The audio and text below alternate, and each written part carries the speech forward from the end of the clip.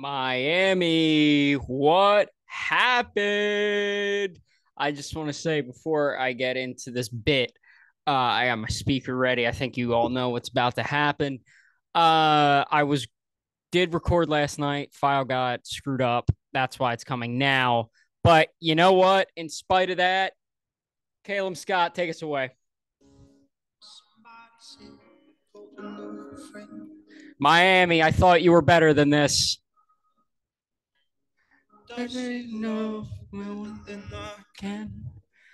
You know, Miami, Josh Bell said you guys would be celebrating. Big black sky over my town. I really thought Luis Arraez said that they were going to be in Atlanta. But you know what? You're not.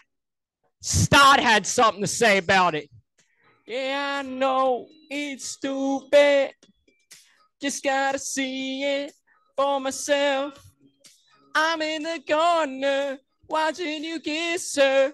Oh, oh, oh, oh, Miami. Oh, you poor sacks. Miami, Miami, Miami. What happened, guys? I could have sworn the Miami Marlins had her number.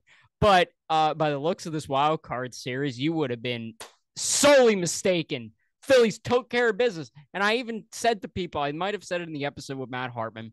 I said to people, the series is going to go one of two ways. It's going to be either the Phillies, Marlins, like back and forth, like tight games, great pitching, offense is getting shut down, or it's going to be the Phillies throttle the Marlins because it's the Miami Marlins and they really shouldn't have been in that that playoff spot. But you never know. People said that about the Phillies last year. They shouldn't be there, but they, you know, we saw what happened. So anything could happen in the playoffs. But the Phillies just took care of business against the Miami Marlins. It was fantastic. Wheeler, dominant. Nola, Nola, Nola. How about it? You saw appearances from from Hoffman was great, and and nobody is better at running a bullpen in the playoffs than Rob Thomson. He is surgical out there. Uh, so in this episode, it's not going to be a very long one because there's not a lot to talk about. Um, I, I we're going to do the series overview of the Marlins wild card sweep. Uh, and then we got to talk about the big bad Braves coming to town and some very angry Braves fans in my comments section, which is just brings a it's so much joy to me when when Braves fans get angry. It's it's it's funny. So in game one, we had Zach Wheeler against Jesus Luzardo, and it was really a pitcher's duel until the third. Uh, you know, the Phillies in the um the Phillies in the first inning had second and third, nobody out. Alec Bohm had a pop fly to to right field. Dusty Wathan decided to hold Schwarber, and he was like, oh, "You shouldn't have done that." Bad night for Dusty Wathan in Game One, uh, and then you had.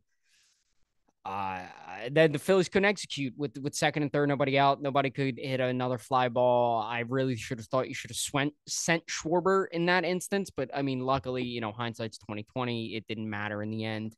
Um, but the uh, God, I, I'm all over the place. I don't have my notes up like an absolute buffoon. sec here. I was so amped up for that bit in the beginning. Um, with dancing on my own, like I really just wanted to jump into it because I'm like, I gotta land this. I gotta, I gotta land this joke right now. Um, here we go. So, uh, it was really a pitcher's duel up until the uh, third. Uh, Johan Rojas worked an incredible bat against Jesus Luzardo, and his progression has been fantastic for the Phillies. And, and obviously, he's been rewarded. He's starting center fielder in the playoffs of a team that has World Series aspirations. That doesn't happen on accident. Um, and then you had a wild pitch, which allowed him to go to second. And then Alec Bohm ropes a double down the third base line. Jake Burger couldn't come up with it. Uh, there's more to talk about Jake Burger, uh, future San Diego Padre Jake Burger. Um, and then we get to the fourth inning. Casty hits a double, uh, single by Realmuto, double by Casty, and then um, Stott hits a single up the middle. Realmuto scores, but Casty's thrown out at home, which I guess Dusty was trying to make up for him holding Schwarber and regrets that decision. Or, you know, I also blame Castellanos a little bit for not sliding there. Should have slid. Uh, but hey, it's whatever. And then Pache on a single uh, up the middle to score Bryson Stott. And I love Cristian Pache. I know I've done a complete 180 on that guy, but he's so electric and fun and he's just out there balling out just doing the you know the big ball celebration and, and enjoying your and enjoying himself which is which is awesome. Uh and then we get into uh the seventh inning. So zach wheeler up until this point was zach wheeler. He was as advertised fastball hitting 99 he was dicing his pitches so efficient um, and then they kind of rallied in the sixth inning a little bit, and leading up to the seventh, he was sitting for a little bit of an extended period of time. And you could kind of see because he was slowing down, not significantly, but enough where you're like, oh, that's that's concerning. And the Marlins took advantage of it.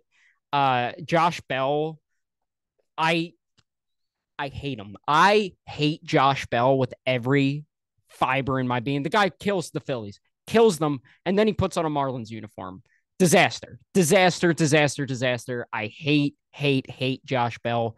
Went three for four in this game. I think he went two for four in game two. He's just, he's stupid. It just felt like every time Josh Bell came up, he was hitting doubles and singles and working good at bats. Like, stop it, Josh Bell. Just stop, stop, stop it. Uh, Josh Bell doubled, and then Jake Burger singled a little rinky dink infield single and then another infield single by Bryan De La Cruz to make it three to one. So now things are tightening up a little bit. And you got to give credit to Topper here because I've seen him so many times throughout the course of this season leave Zach Wheeler in that game and the, the game is tied or, or whatever. Playoff Rob is like first sight of danger. We tried to let him work out of it, goes to his best guy in Jose Alvarado to be the fireman in this situation to to get Yuli Gurriel as a pinch hitter striking out on three pitches. And then he does the wraparound inning again, which I know on this pod we we've been very anti uh anti wraparound inning, but I think the reason uh the reason they wanted Alvarado in there is because the third batter in this inning was Arraez.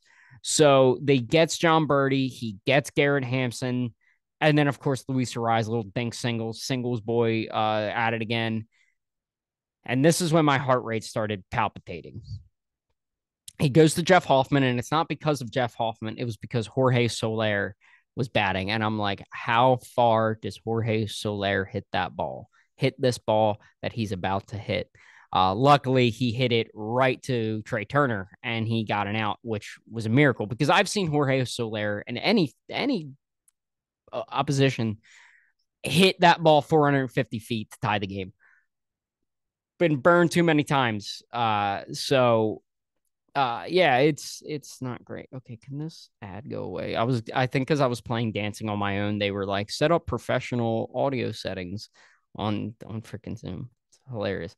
Uh but then we got some insurance. Um you they bring in okert um in the eighth inning. Harper singles JT flies out and then Casty doubles. And as soon as Casty hit that ball down the line, I said Harper scoring on this ball. Nothing is stopping him.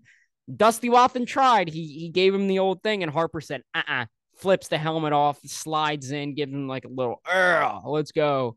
Um, and then Craig in the ninth got a little worried because it led off with who else? Josh Bell with a double.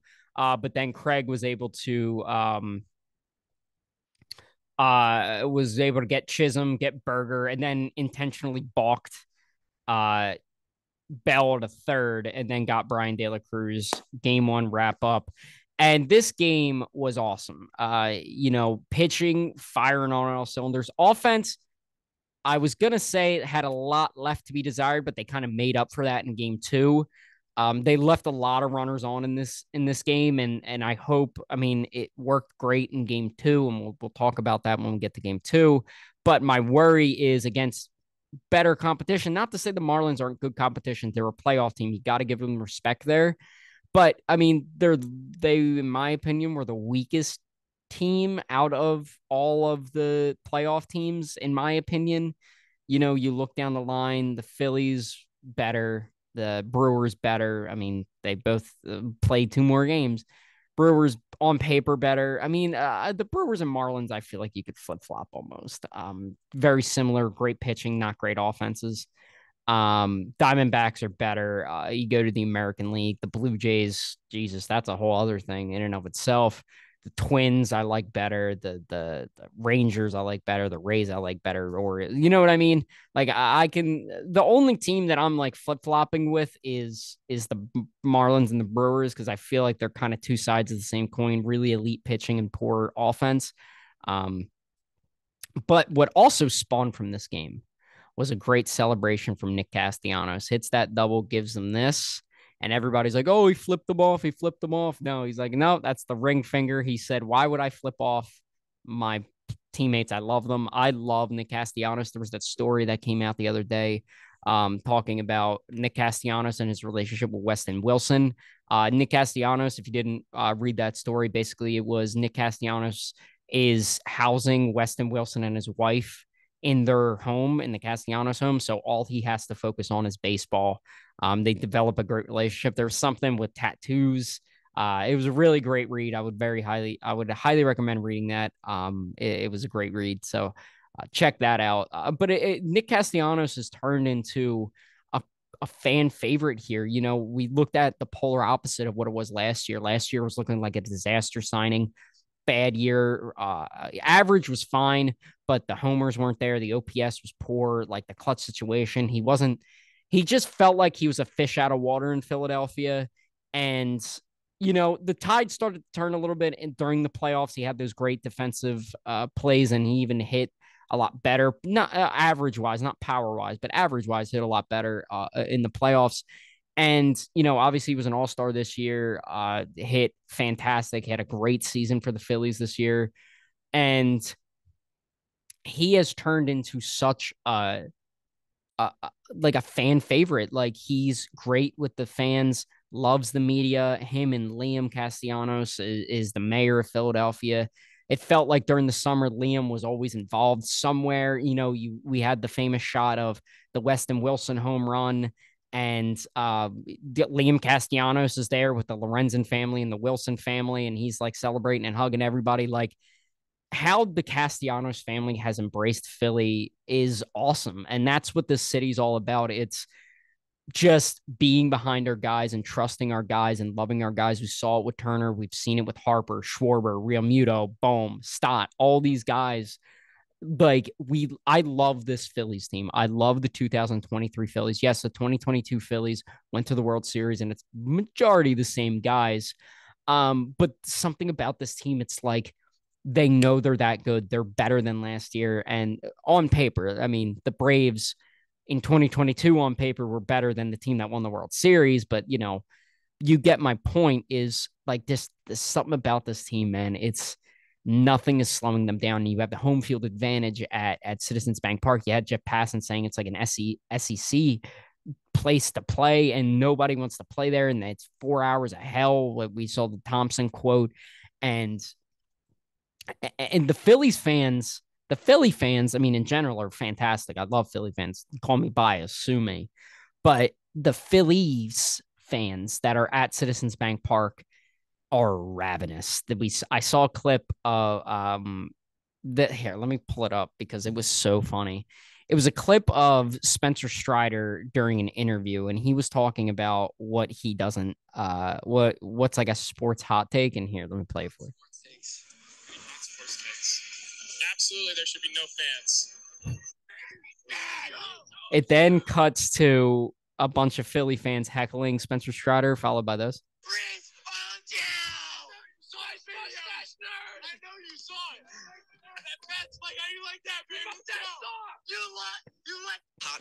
That is courtesy of Jimmy Baker, Jimmy dot Baker zero on on TikTok. Um, it's awesome. Like they're just great. You had the shot of after. I mean, speaking of Strider, we'll we'll talk about the Braves in a second. But um, speaking of uh, Strider, uh, you saw the shot after the NLDS game three. The guy screaming, "Nice mustache, pussy." Uh, part of my language, but I mean, you, you got to get the whole quote in there. Um, but it's it's awesome. I'm so happy Citizens Bank Park is rocket again. And This game wasn't even the most electric one. It was actually game two, which was awesome.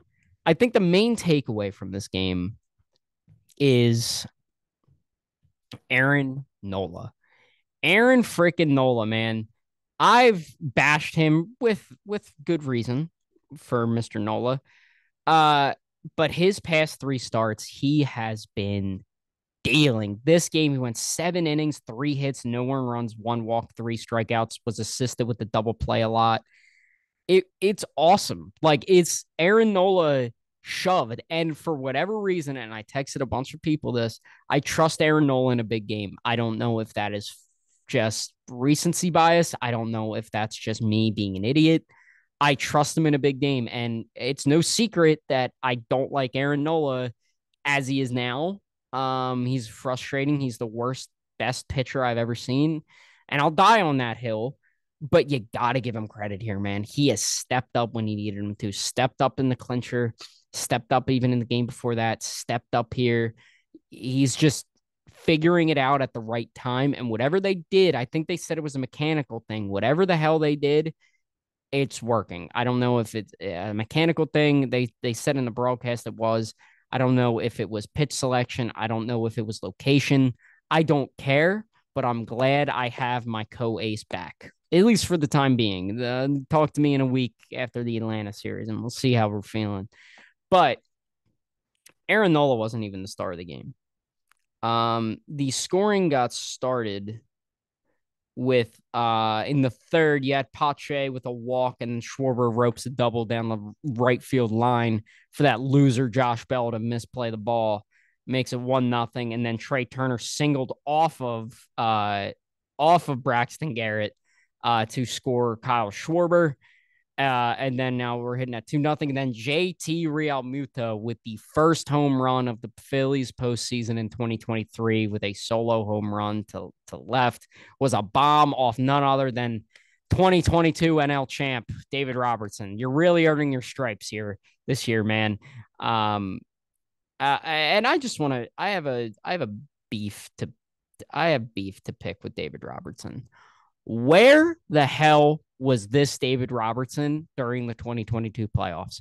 Because David Robertson, that I know with that wore the Phillies pinstripes, was throwing 93 mile an hour meatballs. This guy comes out of the bullpen firing 96 with cut and great curve. Where was this guy? Where were you, David Robertson? Huh? Huh, David?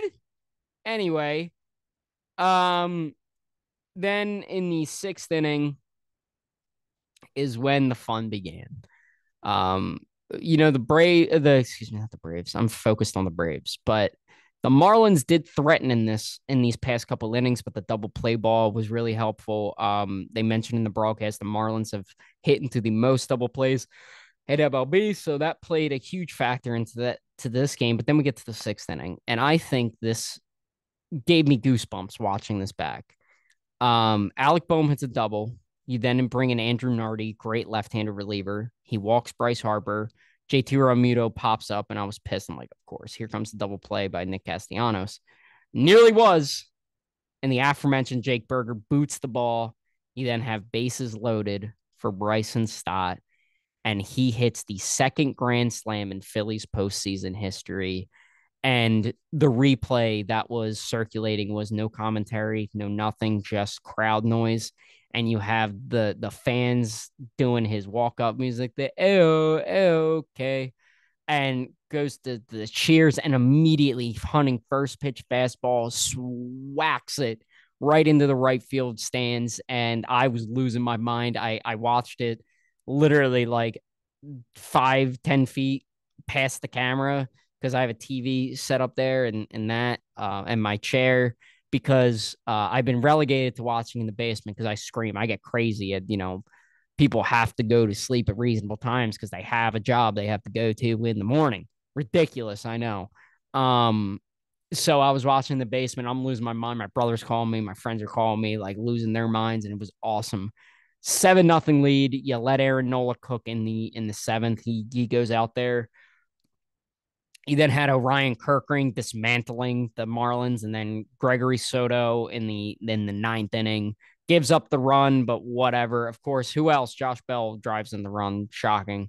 Uh, and then uh, fitting Jazz Chisholm, who claimed the Marlins were for the bright lights, went 0 for 8 in this series. And the final out of the Marlins season was Jazz Chisholm looking at a 100 mile an hour fastball right down the middle from Gregory Soto. Taking care of business. And now we shift. Rematch of the 2022 National League Division Series. The Philadelphia Phillies versus the Atlanta Braves. And I think a lot of people were expecting this rematch. Um, not to oversight the the Marlins, but I was circling this rematch. It it's gonna be a bloodbath. It's gonna be like Rocky Balboa in the ring fighting for his life. Both people they're unconscious, just trying to beat the sh- crap out of each other. Like that save. Um, but it's oh, I already have a TikTok in my head of if the Phillies win. So knock on wood that that sees the light of day. Um, it's going to be a bloodbath. Uh, game one, the starters haven't been announced yet, but it's probably going to be Strider, Suarez. Game two is probably going to be Wheeler. Morton's hurt, Fried's hurt. So it's Elder. Would you go Bryce Elder in game two? And game three is Nola. I, I don't know who else is on that pitching rotation. Who is because I know Elder's probably going to pitch one of those games. Hold on. Uh Braves pitching rotation. Cuz I know Charlie Morton. No, that's the Athletic. I can't. Okay, here we go. Projected starters. That's for the Phillies. Do they have Yeah, see, they're having Max Fried listed, but Max Fried has that blister. So how much are you really going to get out of him? Um, and they said Bryce Elder because Charlie Morton's hurt. Um, Phillies can win this series. I mean, I've been saying it for forever, and I think the baseball world agrees that the only team that can beat the Atlanta Braves, who are the best team in baseball, are the Philadelphia Phillies. I have to give respect to Atlanta. They are a great run organization. They're the best team in baseball. They're going to be the best team in baseball for years to come. But you got to look at the Phillies. You know, obviously they did it last year, but they were hurt. You know, Strider was hurt, Morton got hurt. Uh, their offense was banged up a little bit, and and it's not going to be a cakewalk like a lot of Phillies fans think it's going to be. I think it's going to go all five games. I think it's going to be Phillies in five. I think it's going to be literally like punch, counter punch, sucker punch, beat them both into the ground, and may the best team win because I think whoever wins this series is going to win the World Series. I think it's going to be a bloodbath, and I'm so excited for it. Um, it's the Phillies can do it. I mean, there's no reason why they should be afraid of Atlanta, but there's also a ton of reasons to be afraid of Atlanta because they are the best team in baseball. But the Phillies just play Atlanta so well. I mean, they went what nine and eleven against them this year but a lot of those games were coin flips. It could have gone either way. And I keep looking back in that four game series in Philly was every single one of those games could have gone either way. Um, obviously it played into the Braves favor, but hopefully that was the only favor that they had. They went down there to Atlanta when Atlanta was still fighting for, for, um, the first round or, uh, fighting for, uh, seating wise. Uh, and they took two out of three there pretty handedly too. And I think the Phillies can get to this Atlanta Braves bullpen. I mean, you have Iglesias, Bryce Harper, its favorite player, Brad Hand, who's been great against lefties, but if they can manipulate um Pache and Rojas, you know, if Marsh is due up, then pinch hit Rojas or pinch hit Pache in that situation because Brad Hand's numbers are distinctly better. AJ Minter is just a pain in the you know what. Like he's I hate him. Who else? Jesse Chavez is he still in that bullpen? I think. And then uh who else is down there? They just have dudes down there. I feel like they spawn out of nowhere for God's sakes. And then not to mention the offense, Sean Murphy, career year, Matt Olson career year, Ozzie Albies career year, Orlando Arcia career year, Austin Riley career year, Ronald Acuna career year, Marcell Ozuna, who miraculously hit 40 home runs this year. I, I don't believe it. And then Eddie Rosario is Eddie Rosario. And then the bench, you have Luke Williams, you have Nicky Lopez, you have Travis d'Arnaud.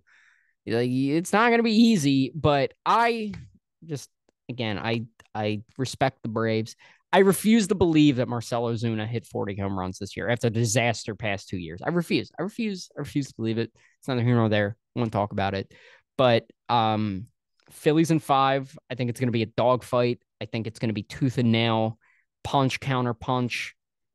Exactly as advertised, I hope this series is going to be. Um, win or lose, it's going to be a hell of a series for both teams. And may the best team win, basically. Um, but that's going to do it for me. I'm going to be back at the conclusion of the NLDS. And again, if the Phillies lose, if you guys want me to continue coverage on the the Major League postseason, I have no problem doing that. I um, I love baseball, not just Phillies. So hopefully next time I'm talking to you, we're talking about a series preview of the Dodgers or D backs. Let's fingers crossed for that. Uh, but that's going to do it for me. Thank you guys so much for for watching and listening. Follow all the socials down below, and I will see you guys very very soon.